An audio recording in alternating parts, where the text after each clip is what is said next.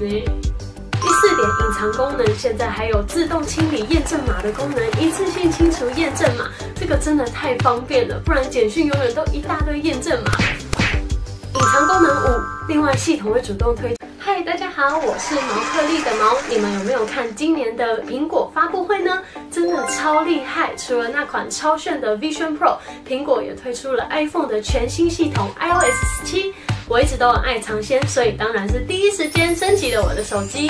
过去的一周，我都在摸索这个全新系统。今天就来跟大家分享一下我在使用 iOS 十七过程中发现的新功能，以及我的使用感受。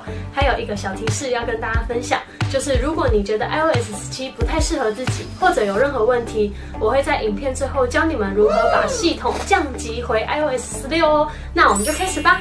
那么我们来讲一下 iOS 十七体验一周它的四个全新功能和五个你可能不知道的隐藏功能吧。首先就是那个自定义照片海报，这个功能很好玩，打电话时候就能看到对方的照片，还可以用自己的创意给他们换上美美的照片，无论是图片、文字、emoji 等等都可以哦。中文名字还可以垂直显示，甚至可以把自己设置成一张超美的背景名片发送给朋友们哦。我来帮我妹做一张名片，调整大小，更换背景，还可以把人抠出来，调整字体颜色，哎，建成还蛮美的。完成啦！另外，在 iMessage 里面多了语音转文字的功能，这个很方便，而且它现在可以用自己的照片做成贴图，点选自己喜欢的照片，它会自动帮你这样抠图一圈，按加入贴图就可以使用喽。里面还有个平安通报的功能，你要回家的时候可以把这个传给朋友或是另一半，让自己回家的路上更安全。苹果闹钟这个待机功能很赞，开启之后手机就能变成一个闹钟，并且我们可以随心所欲的变换自己喜欢的闹钟样式，还能显示通知、行事历等等，更能展示相簿里的图片，还有去过的城市以及手机里的人物。继续往左滑，又有不同的时钟，往下滑有各种样式可以选择。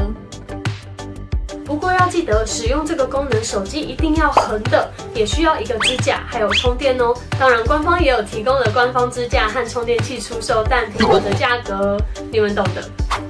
第四点，新的桌布包括了超美的土星跟各种行星和万花筒的图案，能让你们的手机看起来更加独特跟酷炫。补充的第五点，在苹果的健康 App 里面多了一个可以每天记录情绪的地方。现代人压力太大了，这个功能有助于掌握自己的心理健康状态。接着就要来跟你们说说有哪些酷炫的隐藏功能了。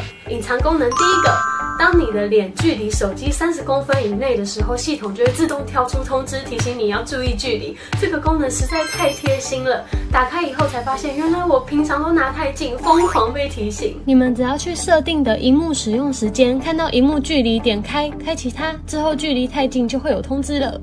第二个隐藏功能就是，当你使用无痕模式查看私密网页的时候，系统就需要人脸验证才可以打开，这样别人就无法偷看你的秘密喽。另外，现在你呼叫 Siri 的时候，不用再说 Hey Siri 了，只要说 Hey 就好喽。Hey，Hey，嗯，是只要说 Siri 吧？第四点，隐藏功能现在还有自动清理验证码的功能，一次性清除验证码，这个真的太方便了，不然简讯永远都一大堆验证码。隐藏功能五，另外系统会主动推荐你清理较大的文件，像是重复的照片、影片，你不需要再手动一个个检查，省了很多时间跟精力。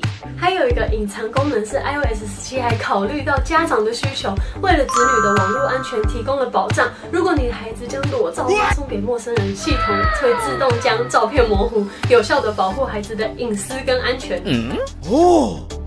另外，LINE 现在新增了早上、下午、晚上、凌晨的时间提示，以前只有上午跟下午的区分，不过现在似乎有个小 bug，我的 LINE 贴图有时候都会点不开，不过重启一下它就会好了。最后，AirDrop 的通知现在不会再显示在中间了，而是出现在上方，更不干扰我们的视线。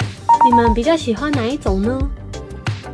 分享完以上的功能，那么大家对于这次 iOS 十七更新的感觉如何呢？如果你们觉得并不是那么的满意，或者觉得并不如预期的那么好，也不用太担心，我们可以把 iOS 十七降级回 iOS 十六哦。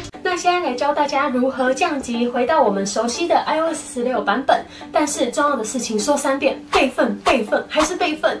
在降级的过程中，可能会有一些资料丢失，因此我们要先做好备份的工作。你可以使用 iTunes 或是 iCloud，如果是照片的话，也可以使用 Google 相簿等等。另外，在进行备份的同时，也要确保手机的电量十足，这样就可以避免在降级的过程中，因为电量不足或是电源中断导致手机变砖。两个步骤都完成后，现在我我们就来一步步教大家如何降级 iOS 十七吧。首先到 Apple 的官方网站下载并安装最新版的 iTunes。然后开启 iTunes，把你的手机用 USB 连接线连到电脑，接着在 iTunes 中你会看到你的手机，这时按住键盘上的 Shift，同时点选回复 iPhone，选择你下载好的 iOS 十六任体档案，然后点选开启，iTunes 就会开始全自动将你的装置降级到选择的韧体，这时不要去碰手机哦，等它降级完成后。你的手机就会自动重新开机，这样就完成降级了。来讲一下这次更新 iOS 十七的使用感想，实际使用起来我觉得小半不少。等到 beta 版本更新后可能会好一些，不过也有一些新的功能，我觉得还蛮酷的，值得大家去体验看看。如果你们已经更新了 iOS 十七，有没有什么新的好用功能，或是遇到的 bug，都欢迎在下方留言跟我分享。今天的影片就到这啦，我是毛克利尔毛，下次再见，拜拜。